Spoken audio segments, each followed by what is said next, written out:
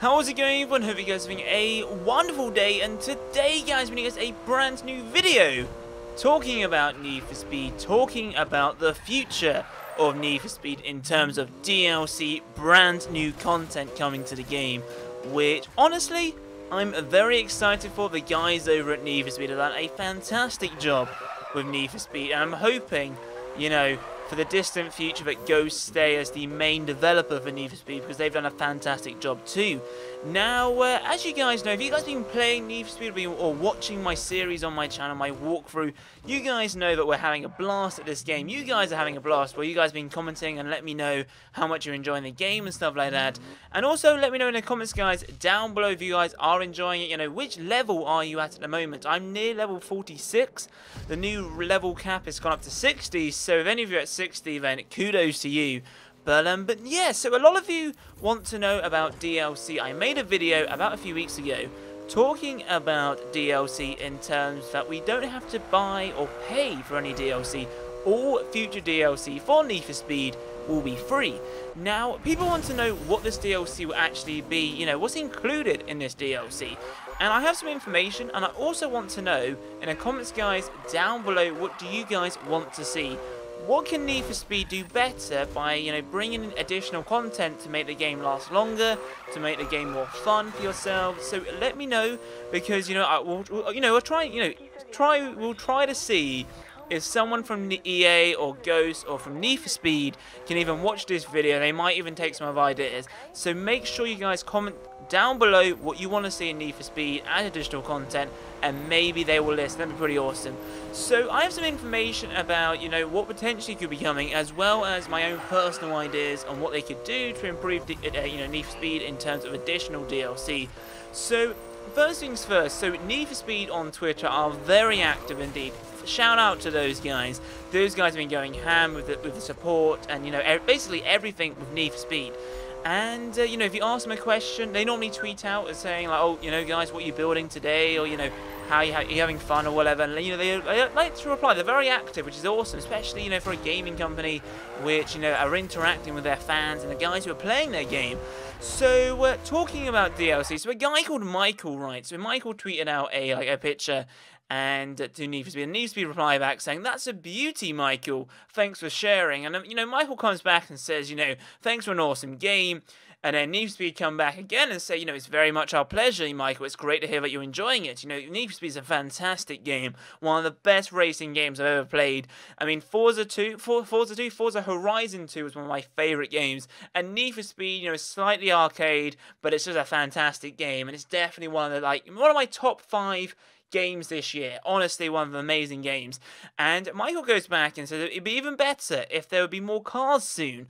So, you know, if you guys are playing Need for Speed right now, you guys know that you can buy straight away like the Volvo, some brass, you know, rubbish Volvo at the start, which is very slow indeed. I think it was um, it might have made an appearance on the TV show Top Gear, where uh, Jeremy Clarkson just you know drove it around. I think bought it for a pound or something, very cheap indeed. And you go all the way up to the Ferrari is it F40 or F50. So like I think the value of cars go from like seven thousand dollars all the way to like over $200,000, which is a pretty insane amount. And there's quite a good variety of cars at the moment. There's normally like two of each brand or two of each make. So there's two. There's only one. There's two Ferraris, two Lamborghinis, two Porsches. Only one McLaren. Uh, you know, we got like we we do have some like we have a Nissan GTR. We have stuff like so. There's definitely a lot of cars in there. However, you know it would be nice, like the guy said, you know, if there would be more cars, and maybe some more cars as future DLC. Uh, what cars would you guys like to see? Let me know in the comments, guys, down below. Um, I would like to see maybe a Bugatti Veyron, a McLaren P1, maybe a Ferrari LaFerrari. Oh, that'd be amazing. Maybe a Jaguar F-Type. Uh, you know, just some insane cars would be, you know, amazing. Maybe, maybe like even like, you know, some like electric cars. Maybe like the BMW i8 or an Audi. I know an Audi R8's not electronic, but you know, an Audi R8 would be quite nice to put in the game. Or, or you know, maybe just you know the uh, what was it, the Tesla? That'd be pretty cool. But um, but as for the cars, now I regarding cars we have a garage, right? And we can only slot five cars at a time. Now, EA, Ghost, Need for Speed, if you're listening, are we able to add an additional slot in? I mean, five is good enough, but I think, you know, maybe what they should do, and, you know, they can incorporate, is every time you get like an extra, you know, we get to a certain rep level, we get additional car parking spot. The only reason I say is that, you know, I have an amazing garage and I don't want to sell like one of my cars to, you know, buy another one. I like just keep building my garage up or maybe have the option where there's a there's an option where it's only available for free cars. So like, you know, you know, you got Ken Block's car, you got the Lamborghini Diablo, uh, you know, you've got Nakai-san's car, you've also got Magnus Walker's car, and maybe there should be a separate car parking spot, a separate garage spot for those downloadable cars or the cars which are free, which I think pretty cool. So moving on from that, right? So EA, you know, EA, Need for Speed, Ghost, you know, they reply back to Michael and say, you know, well, Stay tuned there, Michael. You, you're, you, uh, I can't even speak for some reason. They basically say you'll hear some news on future DLC here first. And Michael goes back saying that sounds great. And, you know, Need for Speed come back with a cheeky emo a thumbs up emoji. So, um, DLC in terms of cars, I think additional cars would be pretty cool. Uh, maybe some new car parking spots. Yeah, I mean, uh, you know, and it's quite basic, but pretty nice if we could have that feature. Uh, maybe like another tier in the garage or something like that. I would like to see some more missions as well. That'd be pretty cool in terms of, you know, because they increased the rep? So on the patch, they, you know, they increased the rep from 50 to 60 to enable us to have, like, more things to do or more things to aim for. However, when you do complete the game, you know, you are just playing missions over and over again. So maybe they could be a new series where, uh, you know, there's a thing called the group missions, or where, like, you know, you've got, like, the whole squad together. So, like, Amy, Manu, you know, Spike, etc. All those guys together, and you race those guys in a series of challenges. So maybe, like, um, you know, 10 or 15 or 20, you know, even 20 would be better, like additional missions where, you know, we have the option to uh, do different types of races with the squad. Because we have, because you know, when you complete the game, I'm not going to make any spoilers I actually haven't completed the game, but you know, when you do complete the game, you pretty much, you know, complete all the main missions, right?